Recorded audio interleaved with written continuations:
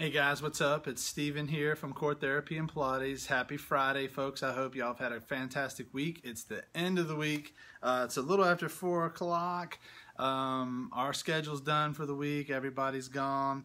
And I just want to do a quick little video today because there's been some excitement in the um, anatomy world this week. And that excitement is that there's been a new organ that has been discovered according to science. Um, there's a medical journal that came out and uh, about three days ago, and I've had four or five of my clients ask me over the last couple days, "Hey, what do you think about this new organ?" Um, so I wanted to talk about that a little bit today because what they're calling a new organ, the interstitium, I think is what they're saying, or the interstitial. I'm not exactly sure.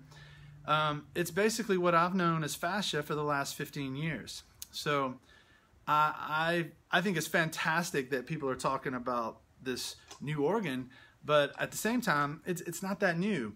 Um, it's just new in certain circles, and if if you've known about fascia and understood fascia, then you know that when you hear what they're talking about, that they're talking about the fascial system.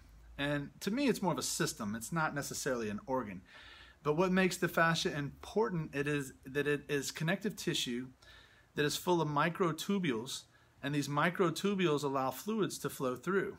So, hey, Paxton, what's up, man? Long time, buddy. Man, long time. Good to see you, man. So, yeah, so these microtubules allow fluids to go through the cells. And what they're saying is that, is that this interstitial organ is what allows fluids to go and allows, let me rephrase it, allows cancers to be spread from all over the body really rapidly.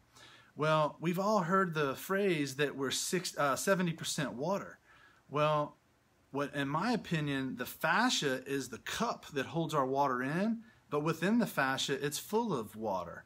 And it's a connective tissue that people thought was just a dense tissue. It was they didn't think of it as a vibrant living material but what I know it as is a vibrant living material that encapsulates every system of the body the fascia the fascial system, it envelops the nervous system. It envelops the uh, musculoskeletal system. It in, it's, it's around every cell in the body.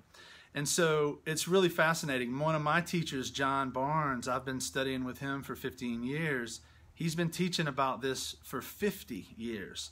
So this is not new. It's just new for the medical world, the Western medical world, Western medical world to acknowledge something that isn't allowed, that you can't MRI or CT or X-ray or do imaging up. So basically what my hope is, is that this allows some really smart people to figure out a way to do imaging of the fascial system.